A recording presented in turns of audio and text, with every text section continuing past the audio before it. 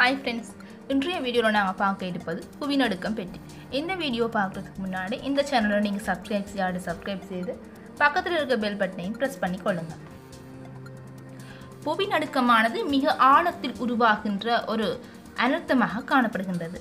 தகடுகளின் ஒன்றுக்கொன்றான நகர்வுகளின் பிரகாரம் புவிநடுக்கமானது ஏற்படுகின்றது. புவியோட்டின் கீழ் அகவிசை தொழிற்பாட்டினால் தோன்றும் அலைகள் புவியோட்டின் ஒரு பகுதியை நடுக்கத்துக்கு உள்ளாகின்றது இதனையே புவிநடுக்கம் என அழைக்கின்றார்கள். இந்த புவிநடுக்கத்தினை பொறுத்தவரை குவிவு மையம் மேன் மையம் என ரெண்டு பகுதிகள் காணப்படுகின்றது. குவிவு மையமானது எழுபது கிலோமீட்டர்கள் ஆழத்தில் அமைந்து காணப்படும். உலகில் ஒவ்வொரு ரெண்டரை மணித்தியாலத்துக்கும் ஒரு முறை ஒரு புவிநடுக்கம் ஏற்படுகின்றது.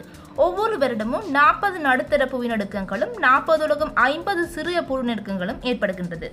இவ்வாறான புவிநடுக்கத்தினை அளப்பதற்கு ரிச்டர்ட் அளவு திட்டம் பயன்படுத்தப்படுகின்றது. இதனை மேற்காலி என்பவர் கண்டறிந்தார். அடுத்ததாக நாங்கள் பார்க்க இருப்பது புவிநடுக்க அலைகள் பற்றி.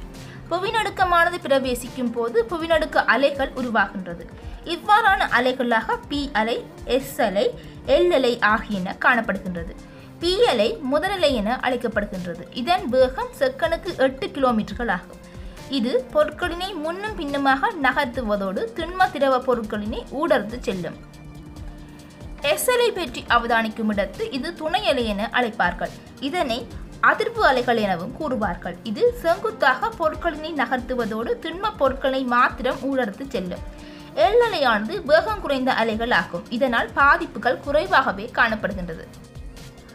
அடுத்ததாக புவிநடுக்க வலயங்கள் பற்றி அவதானிப்போம். உலகில் புவிநடுக்கங்கள் அதிக அளவில் ஏற்படும் பகுதிகளினை உள்ளடக்கி நான்கு வகையிலான வலயங்கள் காணப்படுகின்றது. குறிப்பாக பசிபிக் நெருப்பு வலயம் அத்லாந்திக் சமுத்திர வலயம் மத்திய மலைத்தொடர் வலயம் ஆப்பிரிக்க வலயம் கவாய் வலயம் போன்றனவாகும் ஒரு பிரதேசத்தில் புவிநடுக்கமானது ஏற்படுகின்ற பட்சத்தில் அதற்கு முன்பாக பல அறிகுறிகள் தென்படும். அவ்வாறான அறிகுறிகளை அவதானிக்கும் போது பாறைகளில் ஏற்படும் திடீர் வெடிப்புகள் பாறைகள் உடைகின்ற சத்தம் கேட்டல் கிணறுகளின் நீர்மட்டம் தாழ்ந்து போதல் அல்லது உயர்ந்து இருத்தல் விலங்குகளில் நடத்தை கோலங்களில் மாற்றங்கள் ஏற்படுதல் புற்றுகளில் இருந்து பாம்புகள் வெளியேறுதல் நீரூற்றுகள் தாமாகவே நீரினை வெளித்தள்ளுதல் போன்ற காரணிகளை குறிப்பிட்டுக் கொள்ளலாம். அடுத்ததாக நாங்கள் பார்க்க இருப்பது புவிநடுக்கத்தினை ஏற்படுத்துகின்ற காரணிகள் பற்றி. அந்த வகையில் முதலாவது காரணியாக தகடுகளின் அசைவு பற்றி அவதானிப்போம். புவியில் பல்வேறு வகையான தகடுகள் காணப்படுகின்றது. இவற்றினுள் மோதுகை காரணமாக அதிர்வுக்கு உள்ளாகி புவிநடுக்கமானது தோற்றம் பெறுகின்றது. குறிப்பாக ஆயிரத்தி தொள்ளாயிரத்தி தொண்ணூற்றி மூன்றாம் ஆண்டு இந்தியாவில் ஏற்பட்ட மகாராஷ்டிரா புவிநடுக்கமானது இந்திய தகடும் ஐரோ ஆசிய தகட்டினை நோக்கி நகர்ந்ததால் ஏற்பட்டது. ரெண்டாயிரத்தி நான்காம் ஆண்டு இந்தோனேஷியாவில் ஏற்பட்ட புவிநடுக்கமானது பர்மா தகடு மற்றும் இந்திய தகடு நகர்ந்தமையினால் ஏற்பட்டதாகும். ரெண்டாயிரத்தி பதினோராம் ஆண்டு ஜப்பானில் ஏற்பட்ட புவிநடுக்கமானது ஜப்பான் தகடு மற்றும் பசிபிக் தகடு நகர்ந்ததால் ஏற்பட்டதாகும். புவிநடுக்கத்தினை ஏற்படுத்துகின்ற இன்னொரு காரணியாக எரிமலை செயற்பாடுகள் காணப்படுகின்றது. குறிப்பாக தகடுகளின் விலகல் செயற்பாடுகளின் போது புவியின் உட்புறத்தில் உள்ள பாறை குழம்பானது அகவிசை தொழிற்பாட்டினால் உந்தப்பட்டு வழித்தள்ளப்படுகின்றது இதனால் எரிமலை வெடிப்பு நிகழ்கின்றது. இந்த அதிர்வின் காரணமாக புவிநடுக்கமானது குறித்த பகுதியில் ஏற்பட வழிவகுக்கின்றது. ஆயிரத்தி தொள்ளாயிரத்தி எழுபத்தி ஐந்தாம் ஆண்டு கவாயில் உள்ள கியூவே எரிமலை கக்குகையின் போது ஆறு தசம் ஒன்பது ரிக்டர் அளவில் புவிநடுக்கமானது ஏற்பட்டது. ஆயிரத்தி தொள்ளாயிரத்தி எண்பத்தி ஓராம் ஆண்டு சென்ட் ஹோன்சஸ் எரிமலை கக்குகையினால் அஞ்சு தசம் ஐந்து ரிக்டர் அளவில் புவிநடுக்கமானது ஏற்பட்டது. ஆயிரத்தி தொள்ளாயிரத்தி தொண்ணூற்றி ஓராம் ஆண்டு பிலிப்பைன் பினாதுபோ எரிமலை செயற்பாட்டினால் புவிநடுக்கமானது ஏற்பட்டது. இது தவிர ரெண்டாயிரத்தி பதினெட்டாம் ஆண்டு இந்தோனேஷியாவில் ஸ்பவுத்தூன் எரிமலை வெடிப்பினால் ஏழு தசம் ஐந்து ரிக்டட் அளவில் புவிநடுக்கமானது ஏற்பட்டமை குறிப்பிடத்தக்கது. அடுத்த காரணியாக புவிநடுக்க பகுதிகளில் குடியிருப்புகளினை அமைத்தல். அந்த வகையில் இன்று அதிகரித்து வரும் சனத்தொகைக்கு ஏற்ப மக்கள் எல்லா இடங்களிலும் குடியிருப்புகளினை அமைத்துக் கொள்கின்றார்கள்.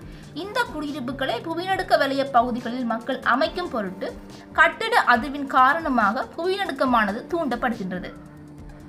அகழ்வு நடவடிக்கைகளினை மேற்கொள்ளுதல். இதனை பற்றி நாம் அவதானிக்கும் போது அபிவிருத்தி என்ற போர்வையிலும் சரி வேறு தேவைகளுக்காகவும் சரி மக்கள் நிலத்தினை குடைந்து அதில் அகழ்வு கைத்தொழில்களினை மேற்கொள்கின்றார்கள். இதனால் பாறை படைத்தளங்கள் அதிர்வு நிலைக்கு உள்ளாகி புவிநடுக்கமானது தோற்றம் பெறுகின்றது. குறிப்பாக இலங்கையில் ரத்தினக்கல் அகழ்வு இந்தியாவிலும் சீனாவிலும் நிலக்கரி அகழ்வு போன்றவற்றினை குறிப்பிட்டுக் கொள்ள முடியும். அடுத்த காரணியாக கடலுக்கடியில் மேற்கொள்ளும் அணு ஆயுத பரிசோதனைகள் பற்றி குறிப்பிடுவோம். அந்த வகையில் வளர்ந்து வரும் விஞ்ஞான உலகில் உலகின் அணு ஆயுதங்கள் ஏவுகணைகள் போன்றன கடலினை அடிப்படையாக கொண்டு ஏவப்படுகின்றது.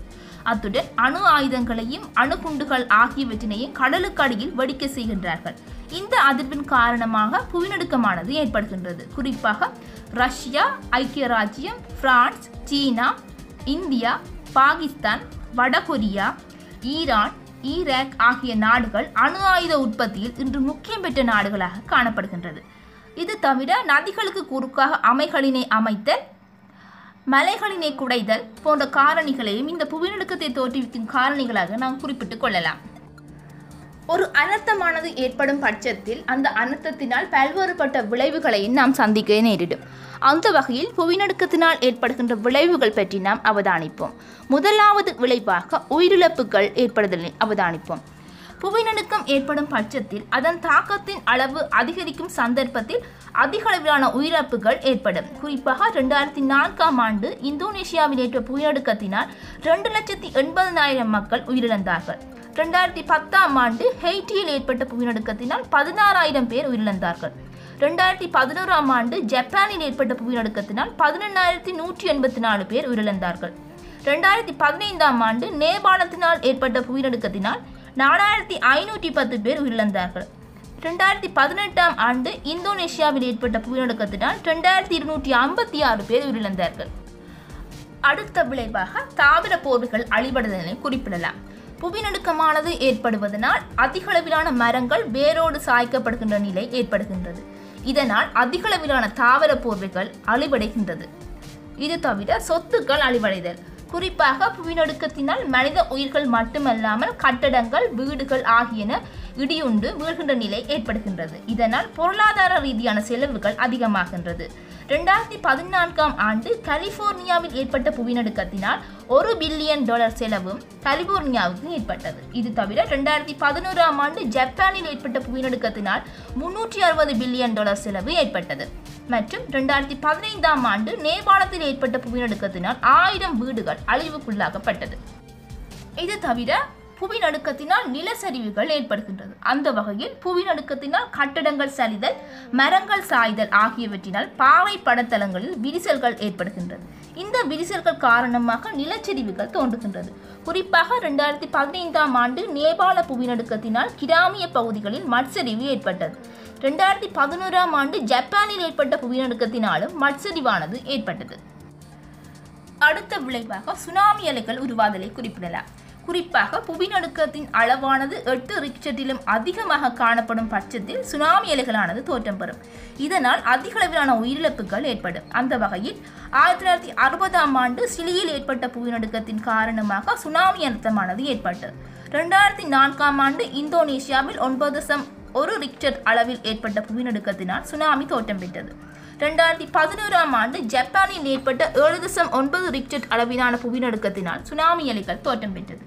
இது தவிர விவசாய ரீதியான பாதிப்புகள் ஏற்படுதல் உட்கட்டுமான பாதிப்புகள் ஏற்படுதல் பொருளாதார ரீதியான செலவுகள் ஏற்படுதல் போன்றவற்றினையும் விளைவுகளாக நாம் கருத முடியும். ஓகே ஃப்ரெண்ட்ஸ் இந்த புவிநடுக்கம் தொடர்பான விடயங்கள் உங்களுக்கு பயனுள்ளதாக அமைந்திருக்கும் என நான் நினைக்கிறேன். மேலும் இந்த வீடியோ உங்களுக்கு பிடிச்சிருந்தா லைக் பண்ணுங்கள் கமெண்ட் பண்ணுங்கள் ஷேர் பண்ணுங்கள் மீண்டும் இன்னொரு வீடியோவில் நான் உங்களை சந்திக்கிறேன். நன்றி.